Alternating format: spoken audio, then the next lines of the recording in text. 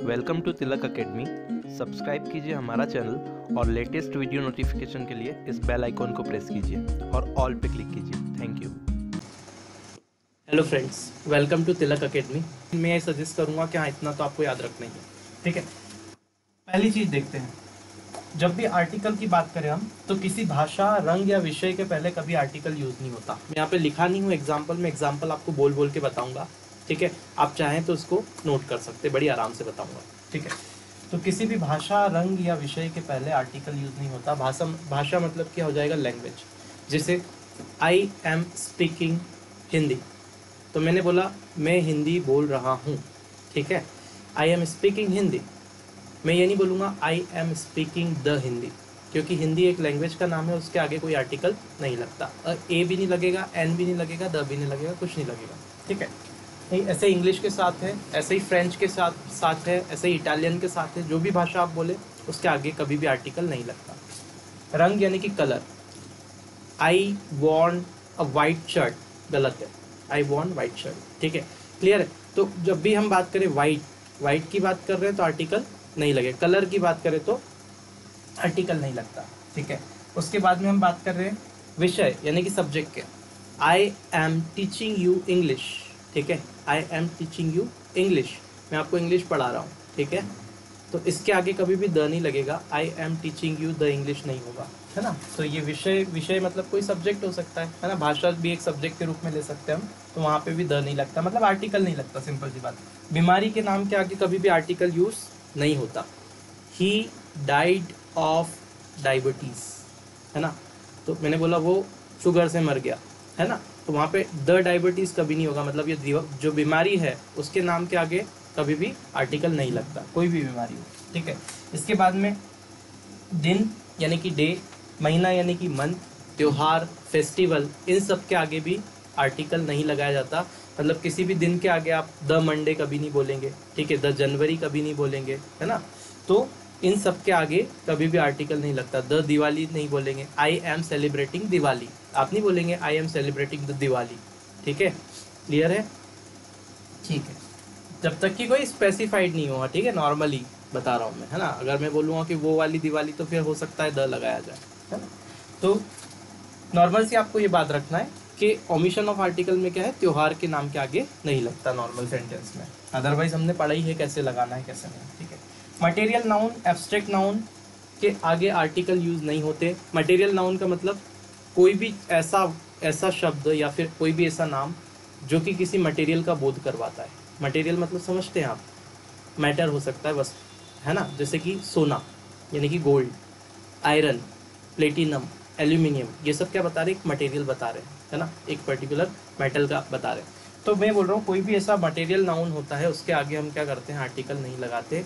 तो आप ये बोल सकते हो आई परचेज गोल्ड चेन ठीक है? तो आई परचेज गोल्ड तो द गोल्ड नहीं आएगा। गोल्ड चेन होगा तो फिर वो a gold a gold chain आ सकता है क्यों? क्योंकि एक चेन खरीदी तो उसके लिए वहाँ पे ए यूज़ कर सकते हैं। लेकिन अगर I purchase gold the gold गलत हो जाएगा। ठीक है? तो वो पर्टिकुलर आप नहीं लगाएँगे। मतलब कि अगर कोई मटेरियल है तो उसके आगे आर्टिकल नहीं लगता। ठीक है? उसके बाद एब्स्ट्रैक्ट नाउन एब्स्ट्रैक्ट नाउन का मतलब क्या होता है? भाववाचक संज्ञा। भाववाचक मतलब कोई भी ऐसा नाम जो कि फीलिंग्स को एक्सप्रेस कर रहा है। ठीक है एब्स्ट्रैक्ट नाउन कहलाता है। जैसे कि मैं बोलूँ ईमानदारी। इंग्लिश में उसे कहते हैं ऑनेस्टी ठीक है? तो ऑनेस्टी जो वर्ड है, वो क्या है? एब्स्ट्रैक्ट नाउन है। तो honesty is the best policy हमने ये वर्ड बहुत बार सुना है sentence honesty is the best policy मतलब कि ईमानदारी जो होती है, वो एक अच्छी नीति होती है है ना? तो honesty is the best policy अगर मैं बोलूँ तो इसका मतलब ये हुआ कि द ऑनेस्टी कभी नहीं बोलूँगा मैं। The honesty is the best policy नहीं बोलूँगा। क्यों? क्योंकि ऑनेस्टी क्या है? एक एब्स्ट्रैक्ट नाउन है, भाववाचक संज्ञा और उसके आगे आर्टिकल नहीं लगता। ठीक है? आगे देखते हैं। स्पोर्ट्स या गेम के नाम के आगे कभी भी आर्टिकल यूज़ नहीं होता। दैट मीन्स अगर मैं क्रिकेट खेल रहा हूँ तो आई एम प्लेइंग क्रिकेट यूँ नहीं बोलूँगा मैं कि I am playing the cricket क्यों? क्योंकि क्रिकेट एक गेम या स्पोर्ट्स का नाम है, उसके आगे कभी भी आर्टिकल नहीं लगता। तो ये वाला जो पार्ट ये है, बहुत इंपॉर्टेंट है। इसके ऊपर एक बार क्वेश्चन पूछा गया है तो ये इंपॉर्टेंट आप नोट कर लीजिएगा। ठीक है? इसके बाद में ये डिज़ीज़ वाला एक इंपॉर्टेंट आप नोट कर लीजिएगा। है ना?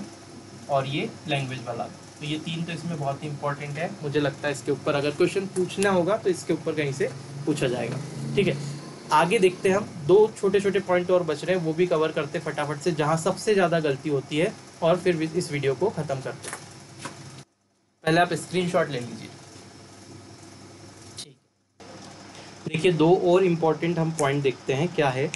दो और इम्पोर्टेंट पॉइंट है कि कुछ ऐसे पर्टिकुलर वर्ब ये फ्रेजल वर्ब हम यूज़ करते हैं कहीं कहीं ये सेंटेंस इस टाइप के, जिनके बाद कभी भी आर्टिकल का यूज़ नहीं किया जाता। लोग कभी कभी क्या होता है एरर में वो पूछ लेता है। ऐसे यूँ तो नहीं पूछता ये नॉर्मल व्यापम वगैरह पी के एग्ज़ाम में, लेकिन बैंक में बहुत सारी बार ये पूछा जाता है, ठीक है?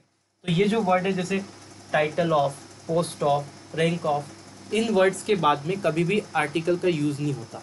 नॉर्मली क्या करते हैं, लोग फ्लुएंटली पढ़ते पढ़ते या बोलते बोलते क्या करते हैं, इन वर्ड्स के बाद में द का यूज़ कर लेते हैं, जो कि ग्रामेटिकली बिल्कुल इनकरेक्ट होता है। मतलब इन पर्टिकुलर फ्रेजल के फ्रेजेस के आगे द का यूज़ नहीं होता। जैसे टाइटल ऑफ़ पोस्ट ऑफ़ जैसे अपन बोलते हैं ना post of the major post of the I तो मतलब वहाँ पे आपके पास में, इनके बाद में द नहीं लगेगा। पोस्ट ऑफ़ आईएएस होगा पोस्ट ऑफ़ मेजर होगा, है ना? द नहीं लगाएँगे हम, क्योंकि इसमें आर्टिकल ये ये जो, ये वर्ब्स होगी होगी फ्रेजेस होगी, ये आर्टिकल का यूज़ नहीं लेती। क्लियर है? तो आपको ये तीनों को याद रखना है। टाइटल ऑफ़ पोस्ट ऑफ़ और रैंक ऑफ़ के बाद में कभी भी आर्टिकल नहीं लगता। एक एग्ज़ाम्पल बोलता हूँ। He got the rank of major he got the rank of major तो अगर मैंने लिखा he got the rank of major अब ध्यान से देखना। मैंने क्या बोला? यहाँ पे आपने द लगाया। पर मैंने यहाँ पे क्या लिखा है? इनके बाद नहीं लगता। पहले तो आप लगा सकते हैं, क्योंकि वो रैंक मेजर की बात। तो he got the rank of major एक पर्टिकुलर रैंक की बात कर रहा है मेजर की ही रैंक मिली तो हमने द लगा दिया यहाँ पे, ठीक है। लेकिन रैंक ऑफ़ दी मेजर नहीं लगाएँगे। यहाँ पे कभी भी द नहीं आएगा, ठीक है। यहाँ पे द क्यों नहीं आएगा? क्योंकि ये रैंक ऑफ़ जो है, इसके बाद में आर्टिकल नहीं आता। आई होप अंडर ये आप समझ गए होंगे, ठीक है? क्लियर है? कोई प्रॉब्लम तो नहीं है? ठीक है भाई, आगे बढ़ते हैं। ये भी बहुत, जैसे इतना इम्पोर्टेंट नहीं है। अगर आप बस ऐसे ही थोड़ा सा ध्यान रख लीजिएगा, बस, है ना? इसके बाद में हम देखते हैं, ये बहुत इंपॉर्टेंट है, इसको तो आपको याद रखना ही रखना है।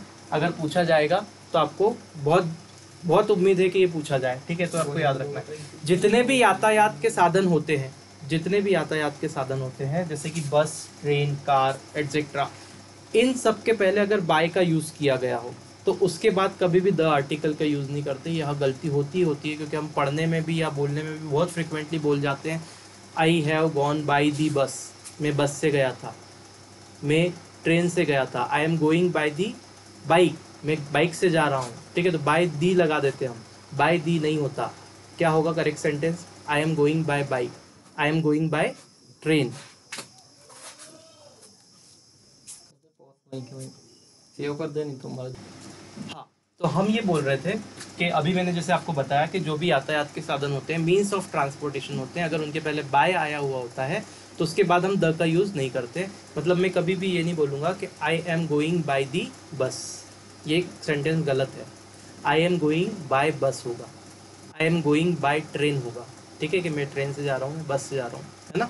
कभी भी I am going by the train नहीं होगा बाई दी अगर लगा दिया तो गलत हो जाएगा मतलब बाई के बाद द आर्टिकल का यूज़ नहीं होता, ये आपको ध्यान रखना है, ये इंपॉर्टेंट आप नोट कर लीजिएगा, ठीक है? इस पर आपसे पूछा जा सकता है, ठीक है? बहुत इंपॉर्टेंट है, गलती कर देंगे आप नहीं तो क्योंकि सुनने में वही आता है तो हो सकता है आप गलत लगा दें, ठीक है?